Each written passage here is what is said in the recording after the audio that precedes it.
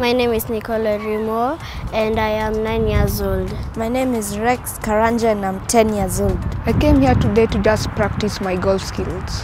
I came here so that I can train how to play golf. I came to practice my golf and improve my talent in golf.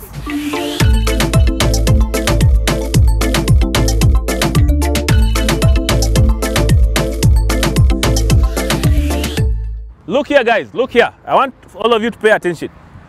We want a proper Y. This is a proper Y. Okay? This is a crooked Y. This is a crooked Y. This is a crooked Y. So can we have a proper capital Y? You see my, my hands are straight. I create a letter V with my hands. Then when I hold the club, it becomes a capital Y.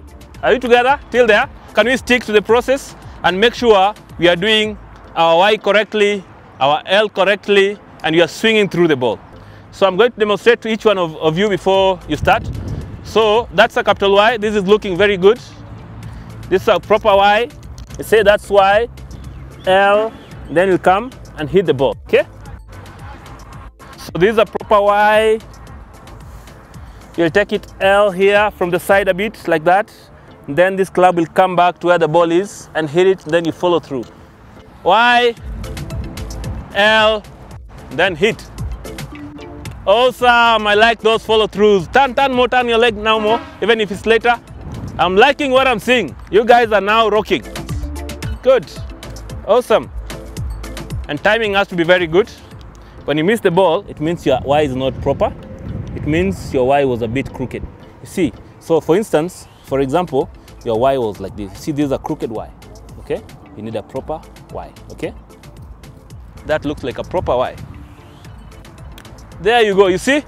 See if you do you do it well, you'll not miss that ball. That was amazing and good finish. Well done. Okay, there. Hold your finish, hold your finish, everyone.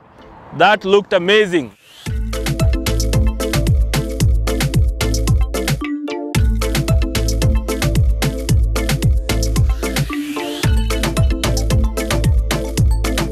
I learned today that we should always concentrate on the ball when we are playing. I learned how to to catch the grip and to swing it.